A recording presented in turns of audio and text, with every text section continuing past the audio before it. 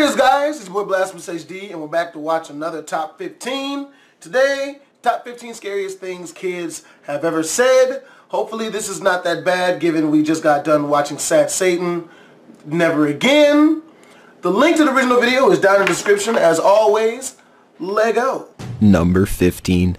I wake up to find my three-year-old standing by the bed, staring at me, inches from me with a huge grin on his face. He just stares and grins. What are you doing, I finally say. Nothing. Still grinning. At this point, I realize he's got his hand behind his back. Are you holding something? No. I look away. He's hiding our largest carving knife behind his back. Number 14. What the fuck? What what do you do to your kid after that? No. Adoption. Game over. No. Adoption. My three-year-old nephew was at my cottage. He asked me numerous times about the girl over there while pointing at one of the back bedrooms. The place is small and there is definitely no one there so I just dismiss it as a really active imagination. Then some friends are visiting and they have a daughter around the same age. She has never met my nephew. Twice in one day she asked about the pretty girl while pointing at the exact same room. Definitely caught me out and I didn't know what to think. Move! Then at Christmas, my family was over at my place and my nephew points at a picture of my wife and asks if she's coming to visit us here or does she just stay at the cottage. My wife died 10 years ago. Number 13. So a friend of mine was 6 years old when she told her mother that the lady who used to live here told me that she hates the wallpaper and that you're covering her note. My friend's mom just thought it was make-believe rambling and forgot about it. Well, 12 years later when the mom is redecorating and taking down the wallpaper in the attic, she finds a suicide note scratched into the wall. The friend's mom freaks the fuck out and calls my friend and starts asking if she remembered anything more about the woman who spoke to her. My friend starts to recall the woman and starts to freak out saying she only remembered talking to her in the attic. Number 12. A friend of mine and her husband bought what is considered an old house around here, Western Canada. Not many houses over a hundred years old. They were renovating the basement one day while I was visiting. I was down there alone with their son, who's barely two at the time, and could not speak in full sentences.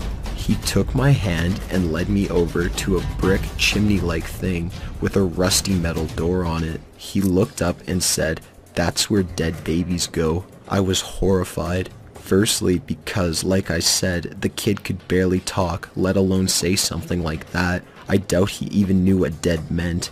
I'm positive that no one would have told him that, and there were no older kids around that would have said that as a joke. Still creeps me out to this day. Number 11. My brother grew up being terrified of water. I'm four years older than him, and during the nightly battle for bath time when he was about three or four, I asked him why he's so scared of water. Being a water baby, as my mom put it, I just don't understand. He looked at me, and I remembered this word for word. I was on a big unsinkable ship. We hit the biggest iceberg, and then it was really busy, and then I got really cold and wet. I went to a warm, bright place and waited until my next family came. My mom heard it and decided bath time was over. The creepy thing is that my brother was born on April 15th, 1992. The Titanic sunk April 15th, 1912. Number 10. When I was about 4, I would remember talking to Mr. Peterson whenever I was at my grandmother's house. He looked like a hobo from the Great Depression and had a guitar and sang the old-timey blues. He told me that he died when he fell off a train he was riding while drunk on moonshine. I stopped seeing him when I was about six.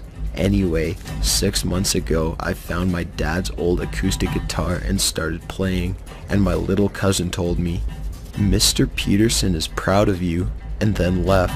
I don't know what to think. Number 9. While changing my daughter in front of the open closet door, she kept looking around me and laughing. I asked her what was so funny. She said, the man.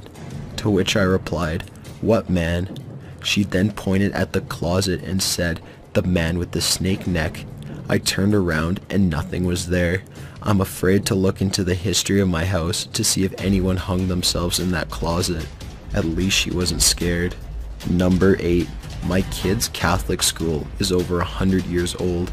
There's a basement under the gym that's used for storage. I was subbing once and during recess one of the kickballs goes down the stairs. A little girl was standing at the top of the stairs yelling, just throw it up to me. I went over and asked who she was talking to and she replied, that big man down the stairs. I went down and nobody was there and it was the only way in. I asked some of the other kids if they have seen the man before and they said yes, but sister told us not to talk to him. I asked them to describe sister and they described a nun and there haven't been nuns at the school in 40 years. Number 7. When my son was little, maybe 3, he used to do this weird crawl where he would slide his forehead along the floor. That was pretty creepy in itself. Then one night, he crawled across the hallway into my room like that and stood up a few inches from my face and made a weird meow sound. He got into bed with me and went to sleep. Another time, he was freaking out about a monster in the basement, so we went down and saw nothing of course. As I turned out the light and headed upstairs, he said, he's behind us now. I might have peed a little. Possibly the creepiest thing he did was one day I scolded him for misbehaving so he hid his head under his blanket.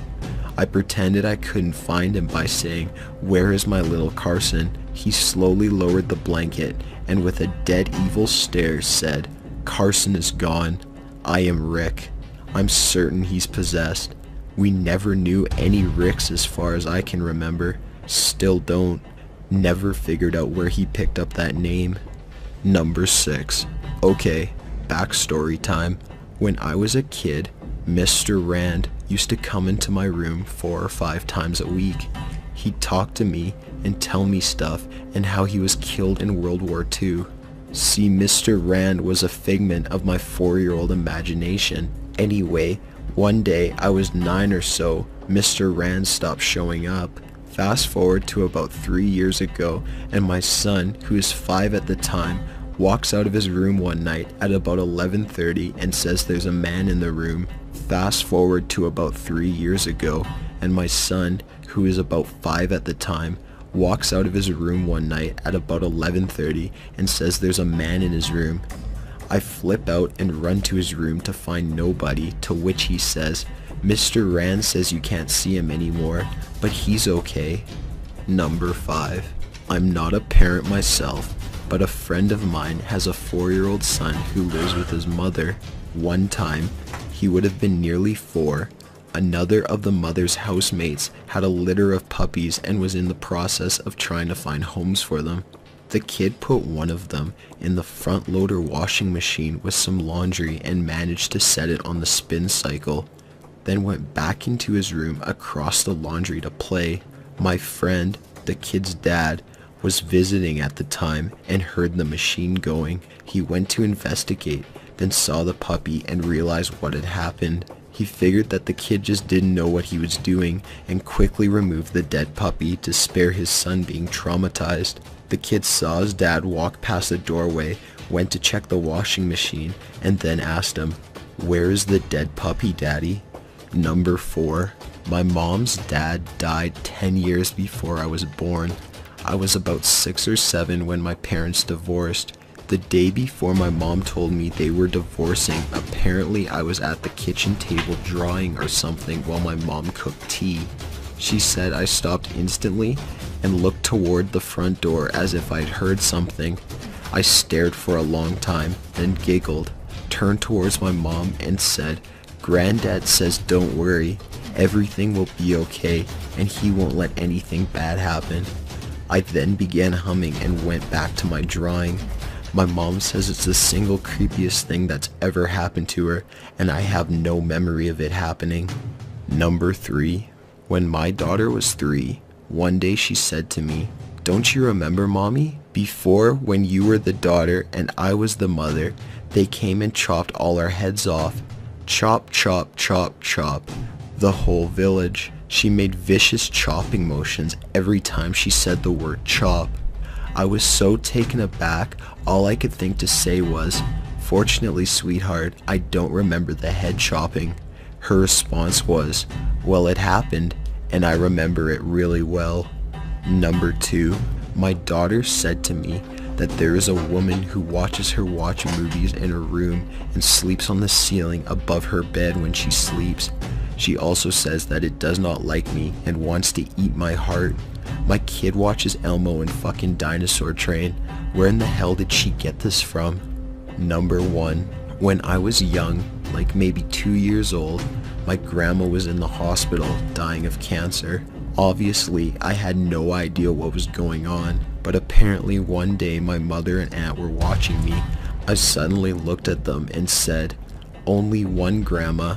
They kept trying to convince me otherwise, that no, I had two grandmas, but I kept repeating that line over and over. Then the phone rang.